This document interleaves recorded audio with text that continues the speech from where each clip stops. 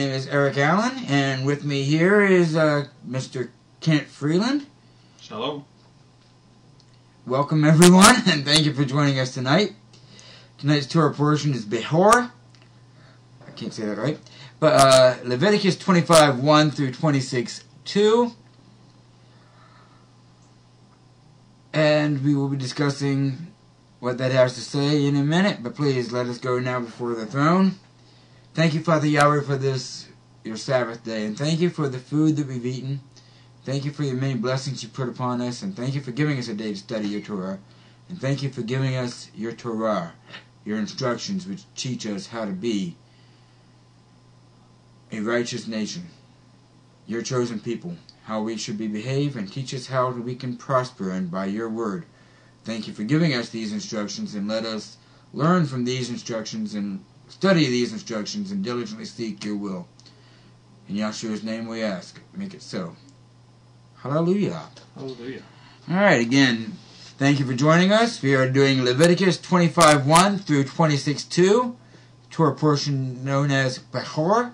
Uh, shalom, John, and shalom, everyone else. Shalom, John. Thank you for joining us, everyone, and without further ado, we shall begin reading Leviticus 25, reading starting at verse 1, and then we'll read all the way through chapter 26, verse 2. So just essentially one chapter is all we're getting this week, but it's a good one. Alright. And Yahweh spoke to Moshe on Mount Sinai, saying, Speak to the children of Israel, and say to them, When you come into the land which I give you, then the land shall observe a Sabbath, Sabbath to Yahweh.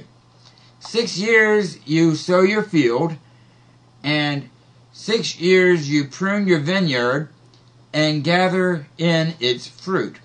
But in the seventh year, the land is to have a have a Sabbath of rest, a Sabbath to Yahweh. Do not sow your field, and do not prune your vineyard. Do not reap what grows of its own of your harvest, and do not gather the grapes of your unpruned vine, for it is a year of rest for the land. And the Sabbath of the land shall be to you for food for you, and for your servant, and for your female servant, and your hired servant, and for the stranger who sojourns with you, and for your livestock, and the beasts that are in your land.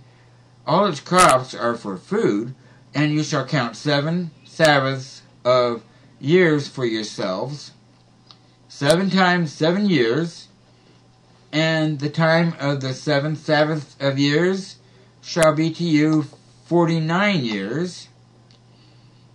You shall then sound a ram's horn to pass through on the tenth day of the seventh month, on the day of atonement, cause a ram's horn to pass through all your land, and you shall set the fiftieth year apart and proclaim release throughout all the land to its inhabitants. It is a jubilee for you, and each of you shall return to his possession, and each of you shall return to his clan. All right, thank you, John. I'm glad I'm feeling better. Also, thank you for your concern. Thanks all everyone for their prayers. And this week I plan to do an update on YouTube to catch up on the portions which I read, which are on Hector's computer, which I can't put on YouTube right now, and also for the week which we missed, do a brief interlude on those and get us ever off to speed. I'm going to do that on the YouTube channel. That's what I plan to do. And I apologize for not being on YouTube for a while. But yeah. Alright, thank you, John, for your concern. Yeah, I'm glad I'm feeling better too. We pause there at chapter 25, verse 10. Now, if we continue here, and if anyone has any comments, you may interrupt at any time.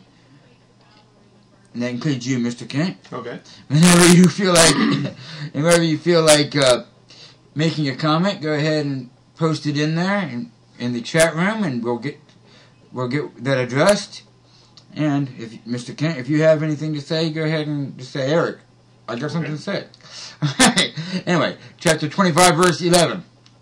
And the fiftieth year is a jubilee to you. Do not sow nor reap what grows of its own, nor gather from its unpruned vine. For it is a jubilee, it is set apart to you. Eat from the field its crops. In the year of the jubilee, let each one of you return to his possession, and you shall sell whatever you your what and you and when you sell whatever to your neighbor or buy from from the hand of your neighbor, do not exploit one another. According to the number of years after the Jubilee, you buy from your neighbor, and according to the number of years of crops he sells to you. According to the greater number of years, you increase its price, and according to the fewer number of years, you diminish its price, because he sells to you according to the number of years of the crops. And do not oppress one another, but you shall fear your Elohim. For I am Yahweh, your Elohim. And you shall do my laws, and guard my right rulings, and you shall do them, and you shall dwell in the land in safety. And the land shall yield its fruit, and you shall eat to satisfaction, and shall dwell there in safety. And since you might say, What do we eat in this seventh year, since we do not sow nor gather in our crops? Therefore I have commanded my blessing on you in the sixth year, and it shall bring forth the crops for three years. And you shall sow in the eighth year, and eat of the old crop until the ninth year, eat of the old crop until its crop comes in. And the land is not to be sold beyond reclaim, for the land is mine, and you are sojourners and settlers with me. And provide for a redemption for the land in all the land of your possession. When your brother becomes poor and has sold some of his possession, and his redeemer, a close relative, comes to redeem it, then he shall redeem what his brother sold. And when the man has no one to redeem it, but he himself becomes able to redeem it, then let him count the years since its sale, and return the remainder to the man to whom he sold it, that he shall return to his possession. And if his hand has not found enough to give back to him, then what was sold shall remain in the hand of him who bought it until the year of the Jubilee, and it shall be released in the Jubilee, and he shall return to his possession. And when a man sells his house in a walled city, then his right of redemption shall be at the end of one year after it is sold. His right of redemption lasts a year. And I should say only a year. But if he is if it is not redeemed within a complete year, then the house in the walled city shall be established beyond reclaim to the buyer of it. Throughout his generations it is not released in the Jubilee. Now, earlier today, Mr. Kent and I were talking about that, and we were talking about in modern times how Iraq, or trying to compare that, and he said, if if you if I bought the land and then I built a house on it and sold it to somebody else, now if I'm within a walled city, I'm fully within my rights to do that. There probably already is a house on it, and you have only a year to return me the money which I gave you for the land, and if you can't, then it is mine. Well, Um, to clarify, it again, we're talking about a house. Yes. In a walled city, we're not talking about the land. In a walled city, the land of a walled city is owned by the inhabitants of the walled city. So, the reason there's a difference there is a house, unless it's rented out, I guess, would be one way that it could quote unquote make money. But if you read what's being told to you here, nobody's renting out a house because everybody should have a portion. There wouldn't be a need for somebody to rent a house unless they're um, not given a portion. Um, but that house would then be released because there's no way to productively gain something from the house. It, it's not earning you anything. You didn't plant anything in it. it. It's not a producing item. Whereas land, on the other hand, it's talking about how the land is providing income. So that's why the land needs to be given back because when you sell it to somebody, they're still making something off of it all during that time frame. Yeah, that's exactly right. And we read here, it says, according to the years of crops. The crops are what's being sold. So when I sell you the land, I'm selling you the crops you're going to get from the land. The land is, belongs to Yahweh, and He's given it to us to watch over and to guard. And if I'm from one tribe and and you're a stranger sojourning with me, or you're from another tribe, or you're just my brother even, and and something goes haywire and I'm not able to work my land and I need, you know, if I break my leg, or even if I die, my wife with young children, no one to work the land, however it goes, they they can they can say, well, look, we have this, and this it's going to yield this many crops eh, for so for six years, you can have this if you give me enough money to sustain my family. So it, it, it's, it's basically selling the crops and not selling the land. And then when the jubilee comes, you have the the contract is is up. You have your debt has already been paid, but because you bought the crops and you worked the field and you took the crops that it that it would yield. Which, which is why when you buy it back early, you're paying back the price of the crops that would have been already paid for. It doesn't say that you're buying back the land, it's only saying that you're buying back those years of crops. You have to replenish that what you quote unquote were given to be able to get the land. You have to give that back if you're trying to buy it back before the Jubilee. You can either wait till the Jubilee and it's it's everything is good and said done because that's the completion of the quote unquote contract, or you have to bring something to pay for the amount of time frame if you're doing it earlier. All right. Any other questions or comments on that? Thank you, Mr. Kent, for your elaboration. mm. um, not seeing any, so we'll move on. But that's the difference between a house and crops. But anyway, as now as for the uh, houses of the villages, we pick up here in twenty five thirty one. The houses of the villages, however, which have no wall around them, are reckoned as the field of the country. A right of redemption belongs to it, and they are released in the Jubilee. As for the cities of the Levites, and the Levites,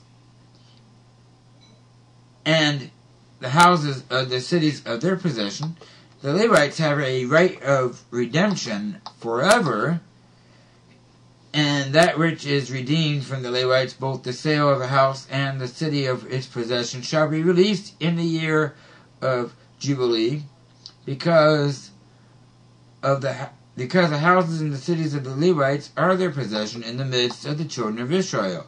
Mr. Kent elaborated on that also when he said that a house cannot produce any money but unless you have nothing else besides the house. So the Levite can can can sell you that house, but he has a right to buy it back at any time. Sort of like a land share type of situation, where you where you, you buy it, pay all this money, but but uh, it's still not your property. It's it's you buy it, you're paying the right to use that property for a for a period of time.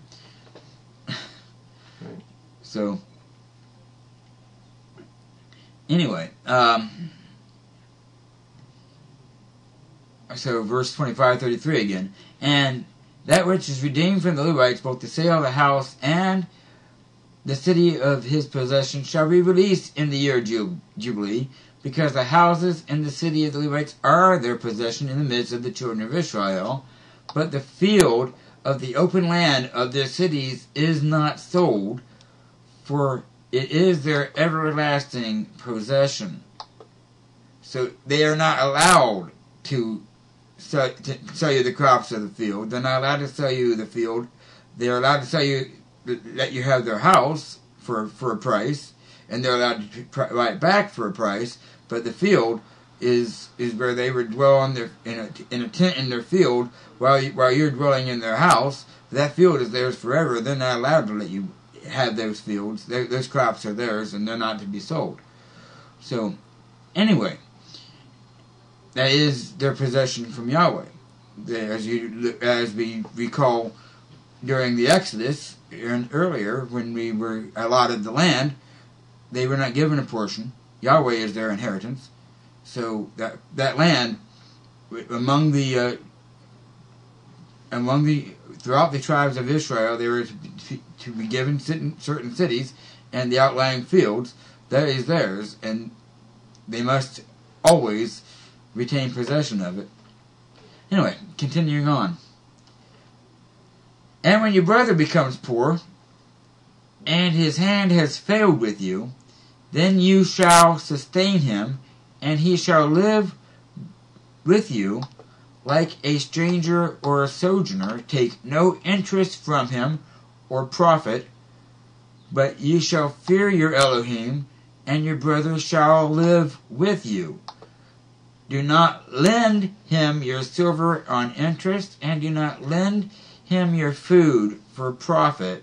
I am Yahweh your Elohim, who brought you out of the land of Mitzrayim to give you the land of Canaan to be your Elohim.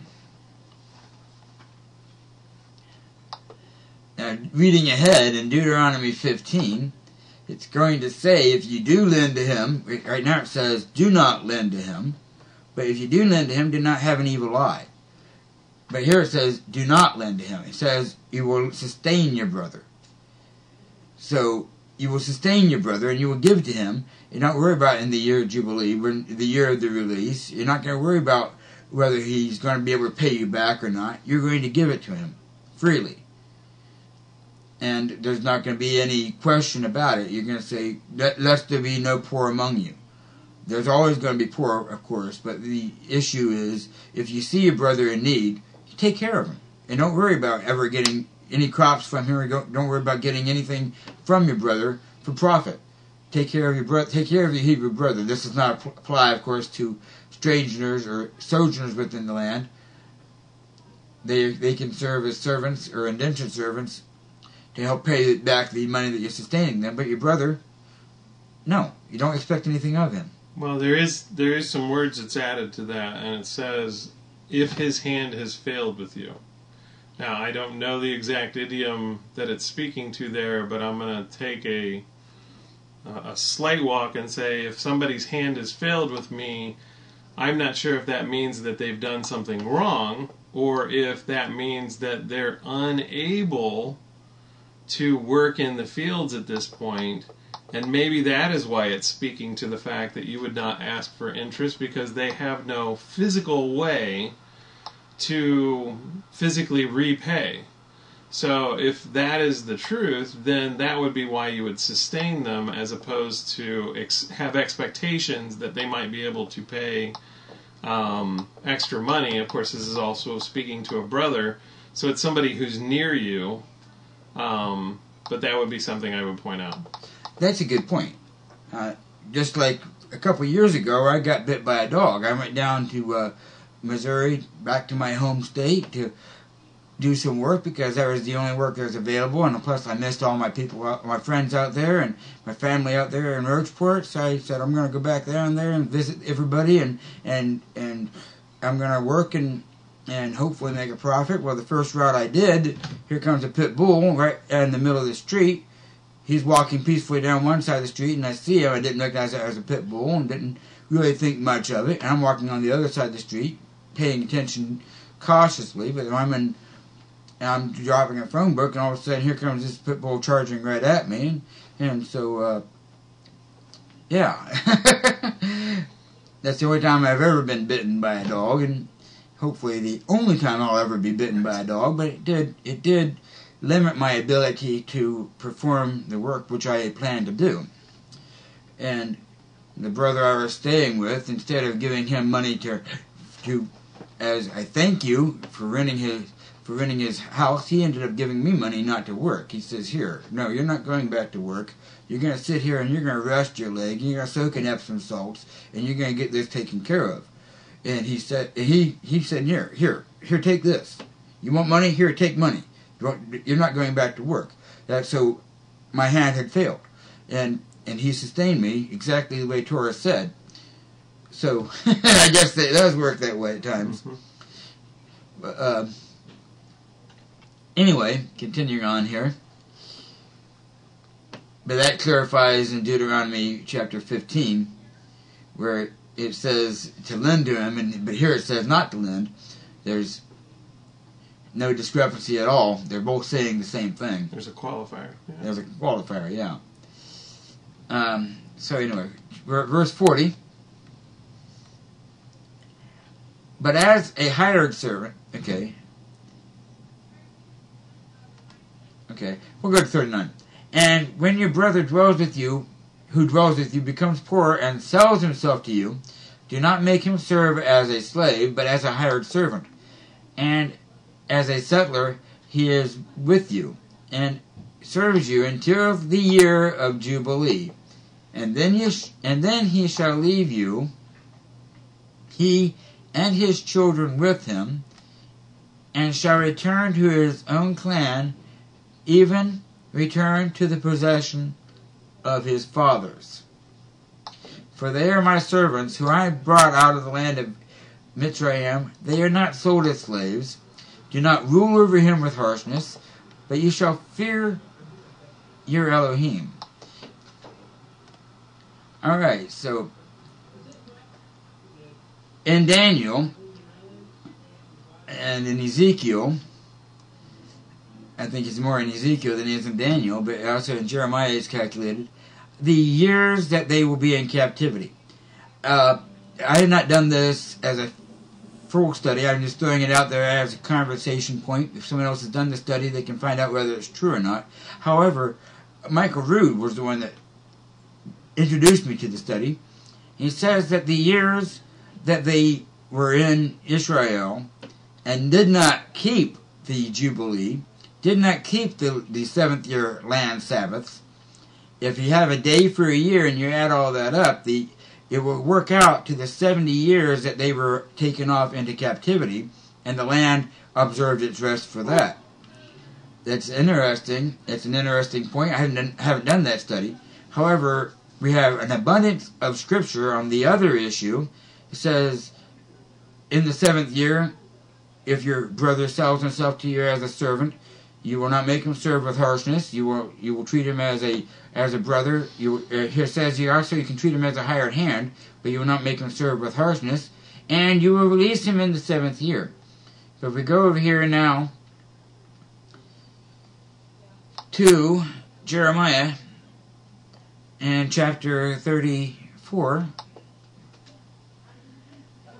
Yeah, Jeremiah chapter thirty-four, verse eight we'll see that the children of Israel didn't even do that. We can speculate that they didn't release the land, that they didn't let the land rest, but they didn't even let their Hebrew servants rest and release them. So we pick up here in Jeremiah chapter 34, verse 8. The word which came to Yirmiyahu, Jeremiah, if you will, from the from Yahweh the word which came to Jeremiah from Yahweh after sovereign Zed- Zedekiah had made a covenant with all the people who were at Jerusalem to proclaim a release to them, that everyone was to set free his male and female slave, the Hebrew man and the Hebrew woman. No one was to keep a Yahudite, his brother, enslaved. And when all the heads uh, and all the people who had come into the covenant heard that each one was to set free his male and female slaves and not keep them enslaved any longer, they obeyed and released them. But afterward they changed their minds and made the male and female slaves return whom they had set free and brought them into subjection as male and female slaves. Therefore the word of Yahweh came to Yirmiyahu from Yahweh, saying, Thus said Yahweh, the Elohim of Israel, I myself made a covenant with your fathers in the day that I brought them out of the land of Mitzrayim, out of the house of bondage, saying, At the end of seven years, each one should set free his Hebrew brother who has been sold to him, and when he has served you six years, you shall let him go free from you. But your fathers did not obey me, nor incline their ear. And you recently turned and did what was right in my eyes, each man proclaiming a release to his neighbor, and you made a covenant before me in the house which is called by my name.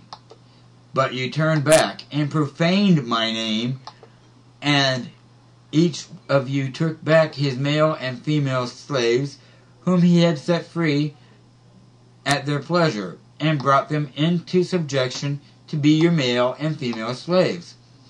Therefore, thus says Yahweh, you have not obeyed me in proclaiming release, each one to his brother and each one to his neighbor.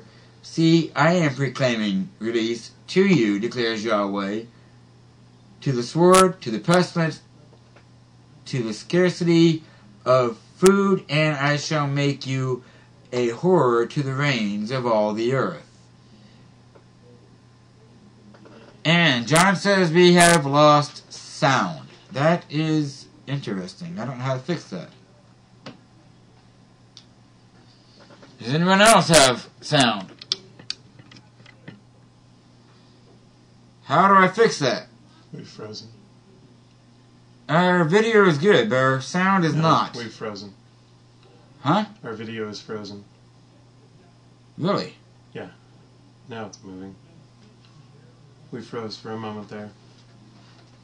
And now we're back on again. Well, I'm not hearing the echo. I got the speaker on, so we still don't have sound. Refresh did not work. Oh, Refresh, did work. refresh did work. Okay. So you can hear us. All right. I guess you can hear us. I can't hear me, but okay. I don't know. It says refresh did work. I'm gonna go to the site. All right. Yeah, we're gonna pause now for a check to make sure everything's working well before we continue. Sound is good. We lost it only for a second. Okay. Let's hope we don't lose it for a third. All right, we're continuing on. All right, we were reading in Jeremiah chapter 34 about the time when the Israelites did not release their male and female Hebrew slaves as they were supposed to. And John says it must just be mine. Okay. All right. I'm glad everyone can hear me, hopefully everyone's up to speed here. Uh, now, see, we're all right. We'll continue reading here. Uh, in verse 34, verse 18, and then we'll elaborate. And I shall give the men who are transgressing my covenant and who have not established the words of the covenant which they made before me, when they cut off the covenant which they made before me, when they cut off, when they cut in half the two, when they cut the calf in two and passed between the parts of it, the heads of Yehuda and the heads of Jerusalem, the eunuchs and the priests, and all the people of the land who pass between the parts of the calf, and I shall give them into the hand of their enemies, into the hand of those who seek their life, and their corpses shall be food to the birds of the heavens. How's how's it working, Mister Kent? Can you hear me? Can you hear me now? Working on All right. and I shall give Zidkiyahu, sovereign of Yahuda, and his heads into the hands of their enemies, and into the hand of those who seek their life. Yes, also I can hear me. Yep. And into the hand of the sovereign of Babel's army that has withdrawn from you. See, I am commanding, declares Yahweh, and shall bring them back to this city and they shall fight against it, and shall take and burn it with fire, and I shall make the cities of Yehuda a ruin without inhabitant. So as we just read in Jeremiah chapter 34, starting at verse 8, going all the way through 22, the children of Israel took male and female servants of their Hebrew brothers. They did not release them into seven years. And now, just as they were slaves in Mitzrayim, the ones who are slaves now to other Hebrews, the Hebrews who are holding them slaves, are just as bad as the Mitzrites, and now they're going to be taken off into Babel, into captivity, and the people who are being held captive by their Hebrew brothers will be set free. Yahweh is all about freedom. He said that he came to set the Hebrew people free, and he made a law saying the Hebrew people were never going to be slaves again. And now Hebrews have taken other Hebrews as slaves, and now the Hebrews who are slaves will be set free by the sovereign of Babel. So the sovereign of Babel is coming to take them away because of transgressing that covenant and profaning his name. And Yahweh will not hold him guiltless who takes his name in vain, who brings his name to naught. So, anyway, we now return with our regular scheduled Torah portion.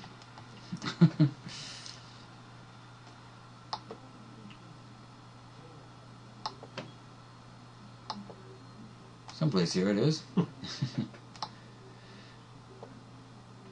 All right.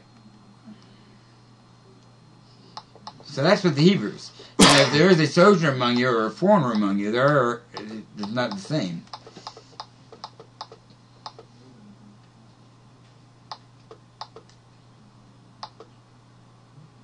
All right, where are we at now? 42 or 41, I think it was. 41. 42 or 41. Well, I thought we were beyond that, but we'll read it anyway. Who cares? All right. Especially since we were silent for a while, and we were quiet, and hopefully we're not always quiet right now, and hopefully everyone can still hear us. But anyway, going back to Leviticus 25:41, and he shall leave you and his children. I have not read that. You're right.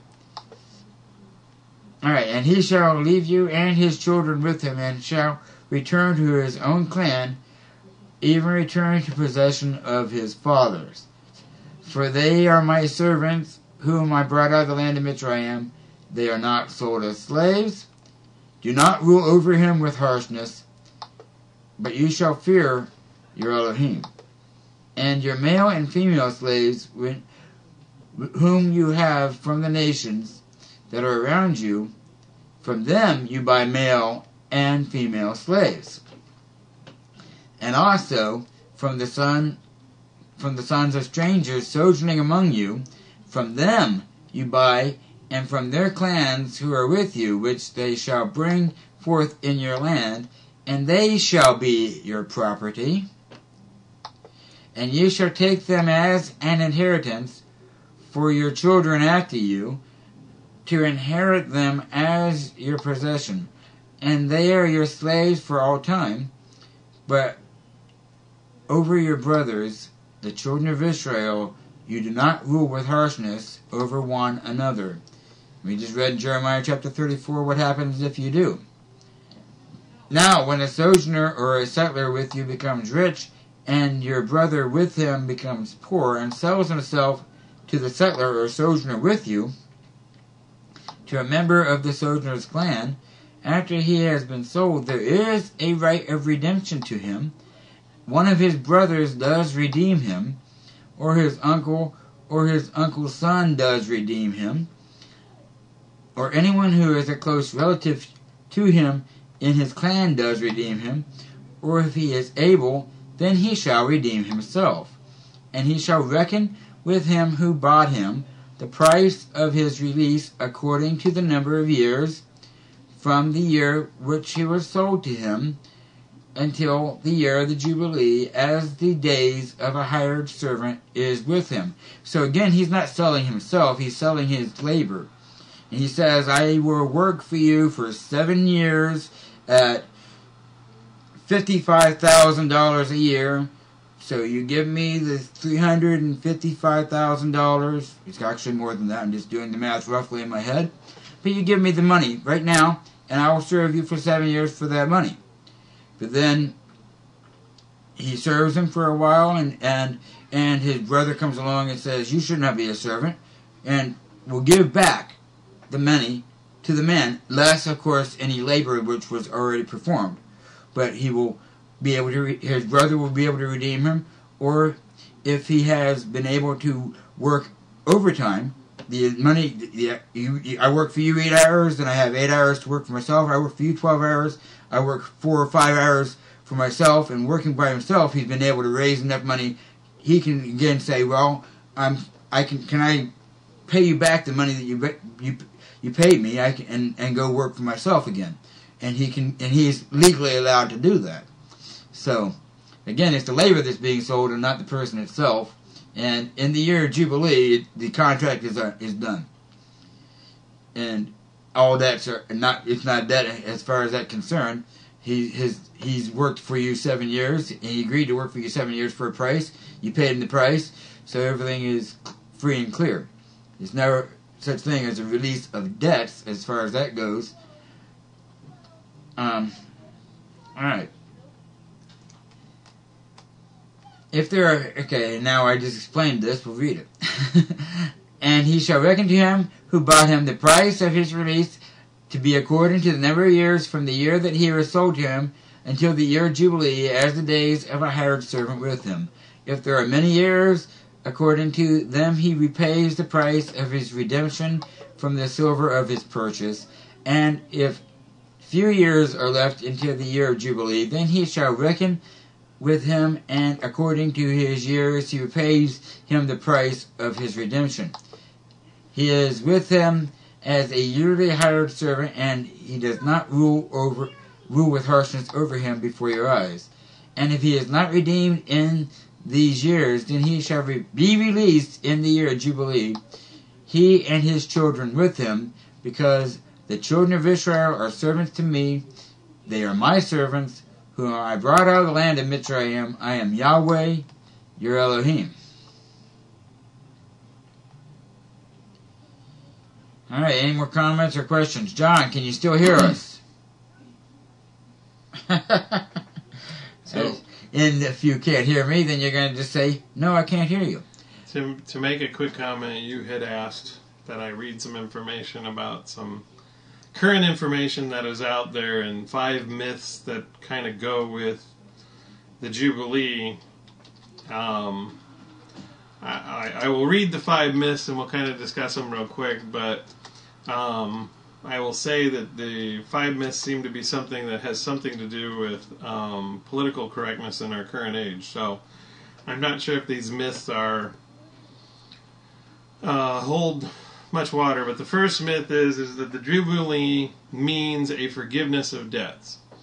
Um, what they speak to there is is that um, that at the time of Jubilee, um, everything quote unquote was forgiven. But if you read it correctly, like we've just discussed here, nothing's being forgiven that the time of Jubilee, everything is coming to completion. So it's the the debt is paid off at the end of Jubilee. Not that the debt would still be standing after that point. It, it, it's come to completion. Um, but the myth is is that you know people shouldn't have to live their whole life in debt. So um, the the teachings of Yah says you're supposed to give forgive people their debt. I would say in this case, it's not talking about the forgiveness of debt, it is talking about the fact that there was a system set up where a person could truly pay off their debt. They could come clean, they could do what they needed to do. And if they wanted to do it early, then they would pay off that amount, but they would have to collect and pay it off. Um, so there's some some cherry picking to kind of come up with that um, because obviously there are slaves and there are other things that are discussed here where there are some people who aren't paying off their debt but they are servants over a certain time frame and then there are others who are going to be servants most of their life so that was the first myth the second um, has to do with um, retribution of wealth or land, and it's well redistribution. I don't think it's a redistribution because, as we've already discussed, the land is owned by Yah. The land is given to us, and Yah has expectations as to where the land is supposed to be. So it's not that it's being redistributed to everybody to make them once again landowners again, so that it's some mentality that everybody must own a home and we must figure out a way to let them own a home. that was the point, basically, in the first place when Yah said, Here's the land, make sure everybody gets a portion, and everybody could then, if they were going to do the work, they could build a home, they'd have a home. But it wasn't that you know all of these these pieces of land and homes being passed around are being done because people have had um, income issues or crop issues or whatever the reason may be they didn't have enough income to sustain themselves um, and you know there's probably some scriptural things that are written that would obtain to why they weren't handling their money properly so i don't think it's a redistribution thing either and it kind of goes on from there. It, it, would get drawn out pretty far. Um, the article that you might want to look for if you want to read it and have your own ideas about it is um, entitled What Are the Five Myths of Jubilee Mean for Poverty?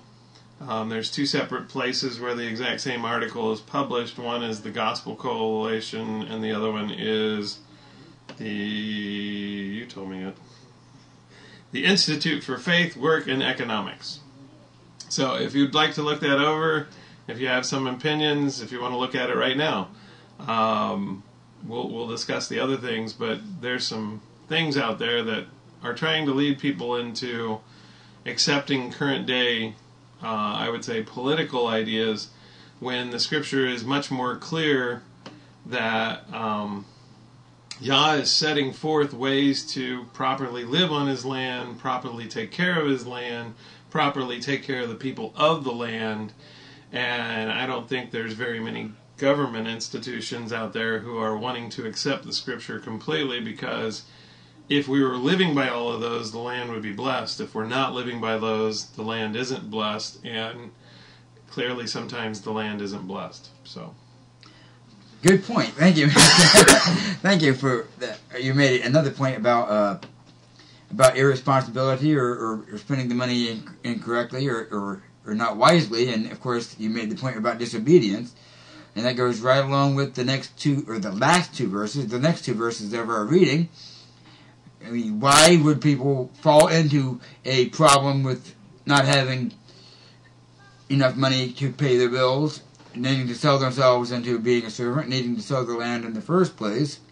Of course, circumstances, as I said, if, if the man dies, in, especially in battle or, or what have you, and the woman left with young children, there are legitimate circumstances.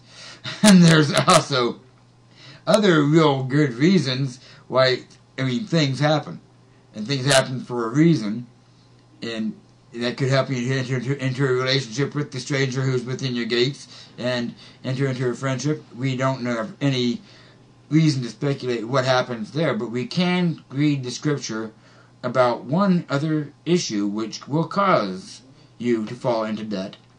As Mr. Ken has already said, disobedience.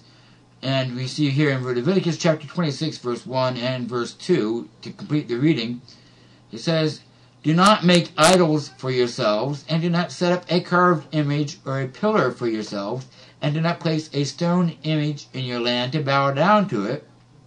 For I am Yahweh, your Elohim. Guard my Sabbaths and reverence my set apart place. I am Yahweh.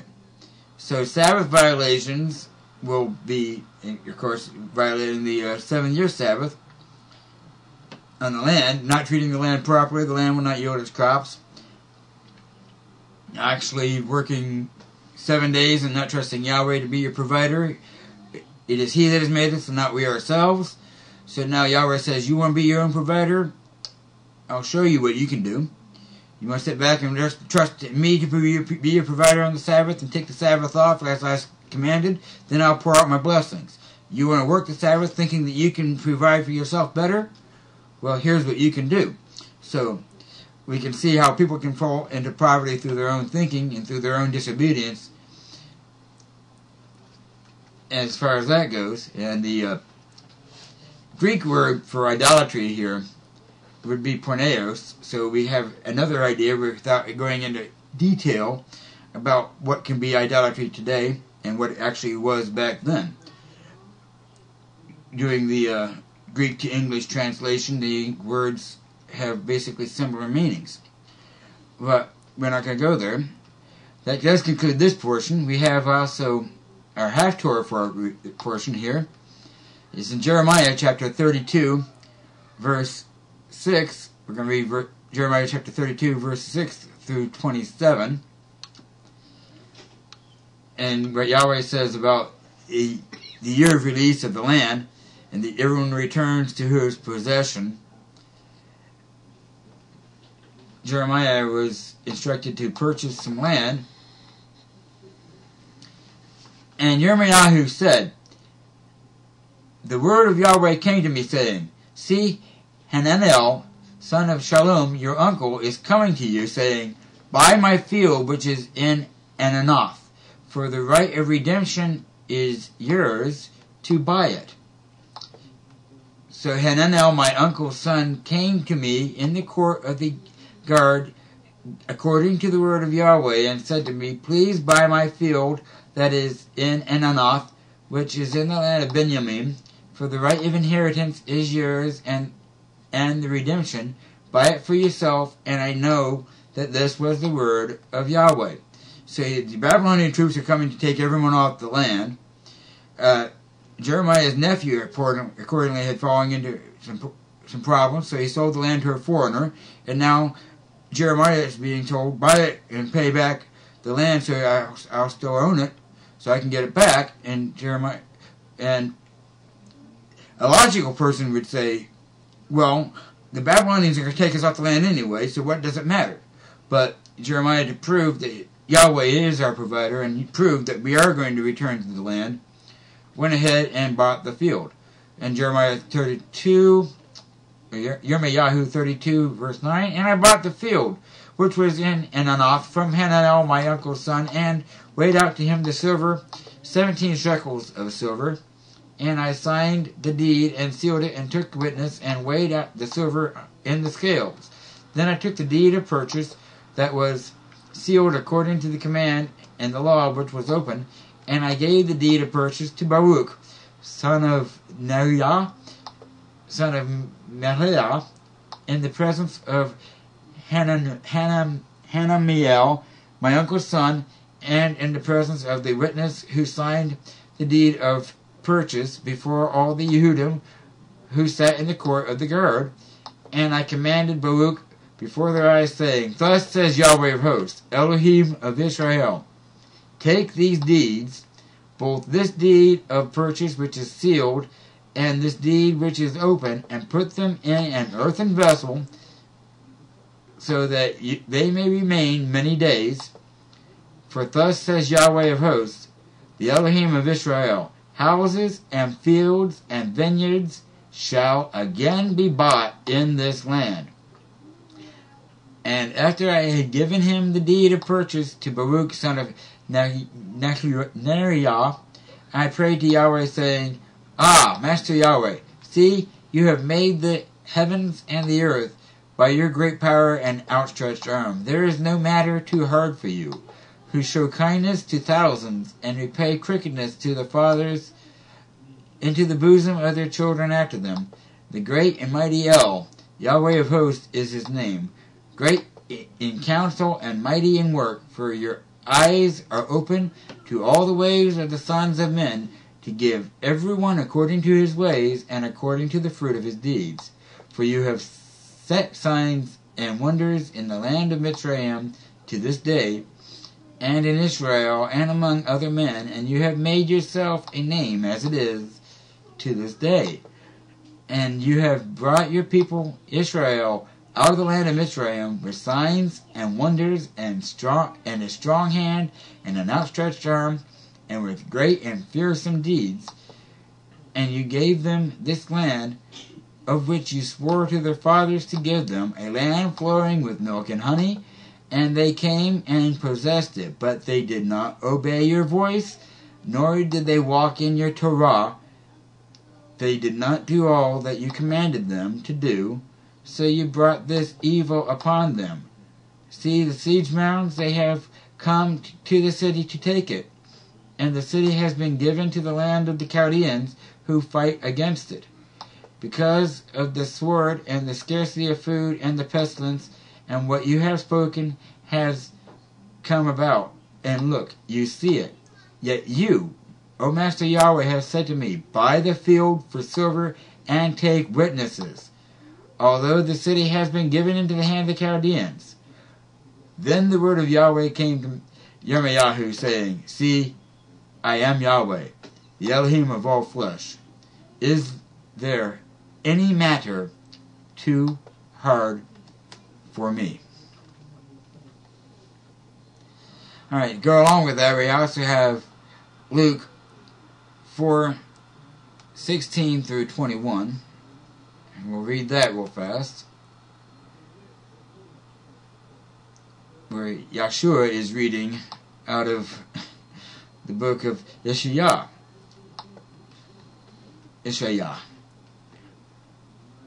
So, Yeshua is reading out of the book of Yeshaya here in Luke 4, chapter 16, chapter, yeah, Luke chapter 4, verse 16.